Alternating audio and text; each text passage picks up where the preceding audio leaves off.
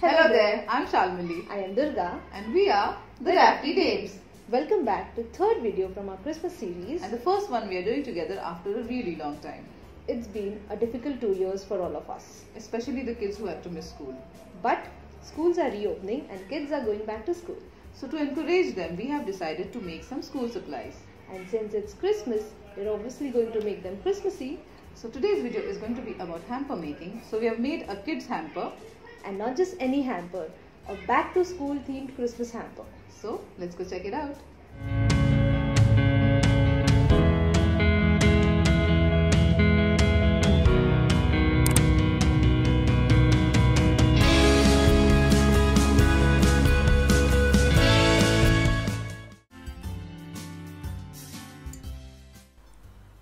To make our notepad, we took the help of our dear friend Mahesh, who made these cute and beautiful designs for us to choose from.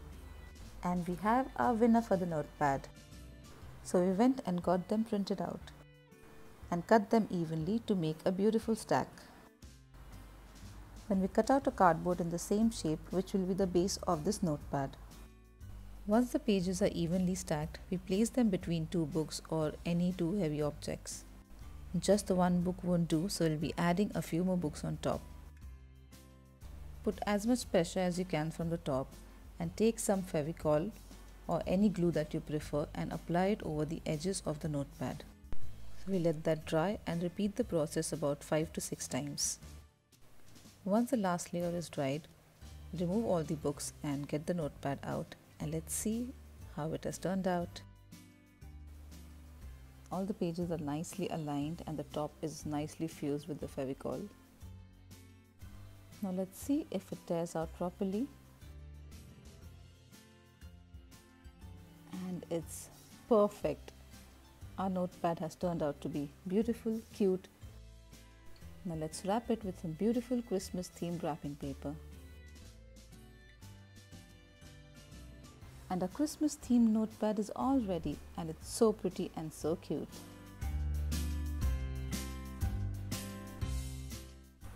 To decorate our pencils, we'll need some acrylic colors and the first one I'm going to do is in white. So I'll be giving it about 2 to 3 coats of white paint. Once all the coats are done and it's dry, we take a red color and start painting strips on the pencil. You can ask someone to hold the pencil for you and you just keep turning it around so it becomes easier to make the strips that way. Try and make sure that they're evenly spaced so that they look like a candy cane. If they are a little uneven, don't worry, it looks like it's come from Santa's workshop made by the little elves. And a candy cane pencil is ready. For the next pencil, we take some masking tape and cover the top portion of it and spray the entire pencil with some spray paint. We have chosen the copper color. Once the spray paint has dried, we remove the masking tape and cover just the eraser on the top. Now we take our Fevicol and apply it all over this metallic part of the pencil and pour gold glitter all over it. Shake off any excess glitter and once it's dry, remove the masking tape. Next we have taken a waterproof metallic marker and we're going to write fa la la la la on the pencil and you can sing along as well. It's the season to be jolly. Fa la la la la la la. And a gold tipped pencil with a Christmas carol is all ready as well. We've also spray painted another pencil with this copper color and on this we're just going to do some nice white and red dots.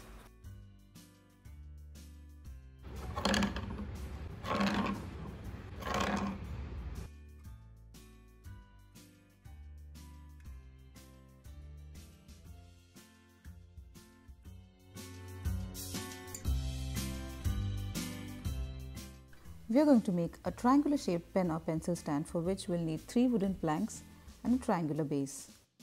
All vertical edges of these planks are cut in a diagonal pattern so that they'll be able to fit in a triangle properly. We got them cut and sanded from Mr. Vinay, our local carpenter from RN Furnitures. Time to start painting. So we have chosen this tomato red color for the inside of the stand. Once they are dried, flip them over so that we can start painting on the other side. For the outer part, we'll be using a copper colored spray paint So shake the can well and just start spraying. Once they are dried, it's time to assemble them. So I'll be using this Fevicol on the edges to join them together. You can use any glue of your preference. Very carefully align them together that they're nicely joined. It takes some time for Fevicol to fuse two pieces of wood together, so make sure you have an extra pair of hands for help. Attach the base of our stand in the same manner. For extra security till the glue dries, attach some masking tape at the corners. Now let's leave that aside to dry. For decorating our stand, we'll be using some air dried clay. So we take some part of it and knead it properly. Once that's done, we take our rolling pin and flatten out our clay. Now bring in our stand to measure how much amount of clay you'll need and cut out any excess. To give our stand a Christmassy feel, I'm going to cut our clay into the shape of a Christmas tree. Time to keep it aside for drying. But before that, we'll take the polythene that we have kept the clay on and fold it in half and measure again on the stand because this will be on the edge of the stand so we'll have to fold it up so that it is nicely covering the stand. Now air dry clay takes about 24 hours to dry so we'll just keep it aside and come back to it tomorrow. So our clay is almost dried but before it is completely dried I'm going to make these incisions on the tree to make it look more realistic. You can use any sharp object that you want for this. Now that it is completely dried, let's start painting it. So we're doing a nice dark green on the tree. Once that's done, let's add some light green to give it a nice textured feel. Once it's all completed, before the paint dries, let's sprinkle some gold glitter onto it and add some red colored Christmas baubles. What's a tree without its ornaments, right? Time to remove the masking from our stand and see if our stand is properly fused or not. And it is nice and sturdy and the red color inside is popping up so nicely. Time to attach our tree to the stand. So we're going to do that with the help of our hot glue gun. Align it properly on one of the edges of our stand and press it gently onto it. And our Christmas themed pen and pencil stand is all ready. Isn't it looking pretty and beautiful? Looking at it literally makes me want to sing. Oh Christmas tree, oh Christmas tree, how lovely are thy branches.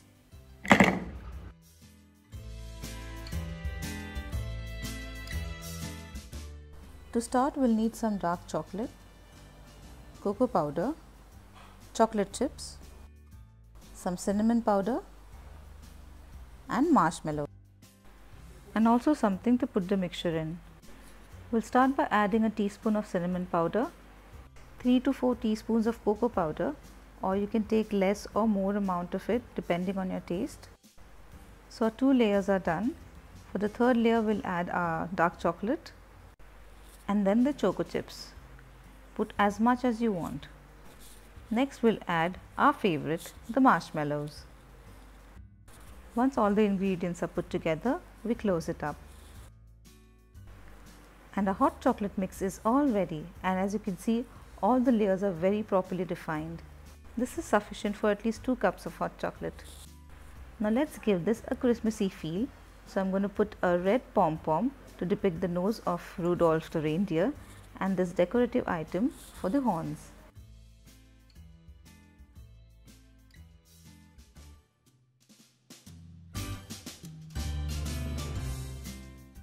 On a piece of parchment paper or baking sheet, take a dollop of melted chocolate and spread it around evenly, but make sure it is not too thin.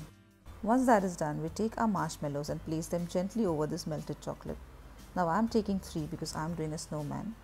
To depict the hands, I've used the chocolate wafer rolls. For the eyes, I've used chocolate chips by just dipping them in some melted chocolate and placing it directly over the marshmallows. And I've also done a reindeer shaped one by placing a red colored poppin right in the center of one marshmallow. Now pop them in the fridge to harden. And our chocolate is all set. Now we just have to make the sections and cut it out. They don't need to be even or neat. The beauty of it is the unevenness. very slowly and delicately remove them from the parchment paper and keep them aside.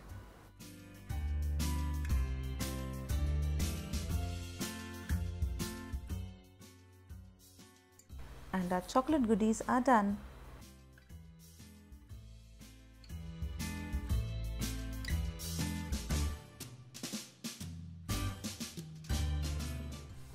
Make the soap this year, we'll be using some Christmassy molds. So we've already melted our soap base using the double boiler method.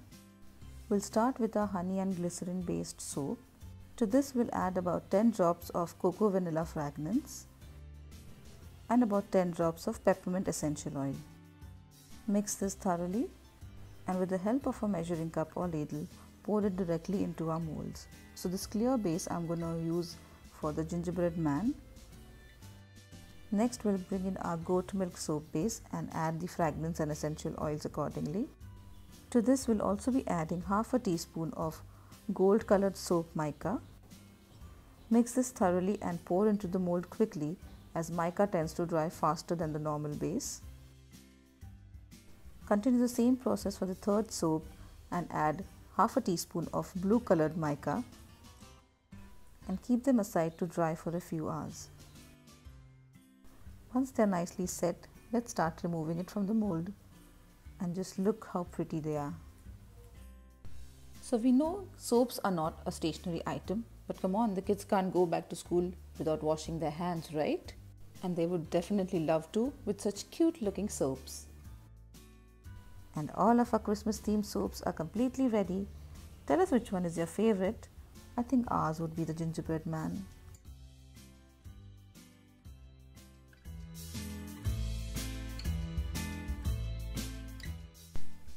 For the main stocking we have taken a red cloth which we have cut vertically and folded in half. Then we bring in the cutout of our stocking that we've done on a card paper. So we place it on our cloth and secure it with some pins so that we can cut it properly.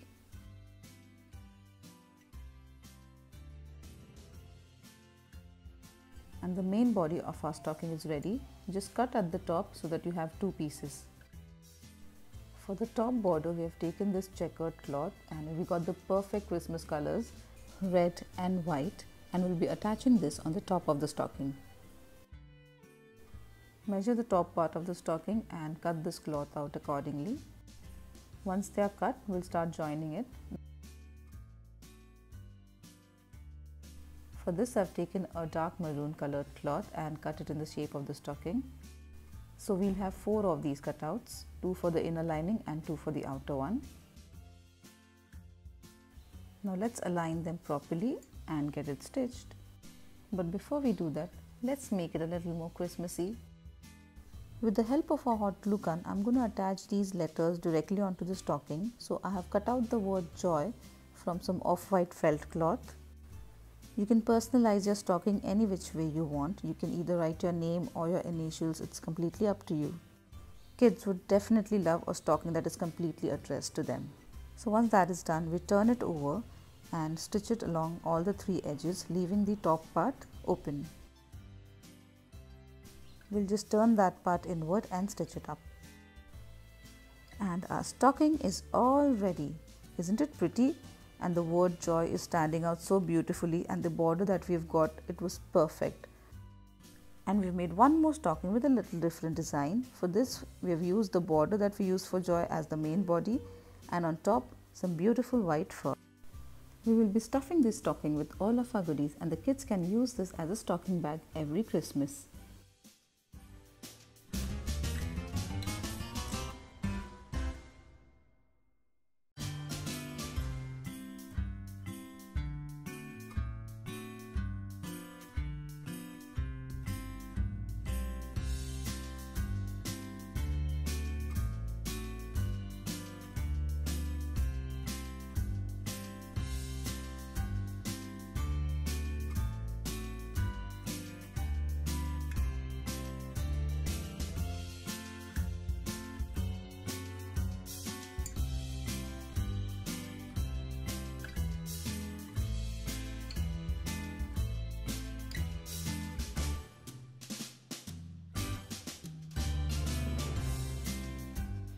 So that brings us to the end of today's video And we really hope you have enjoyed our ideas for the kids hamper.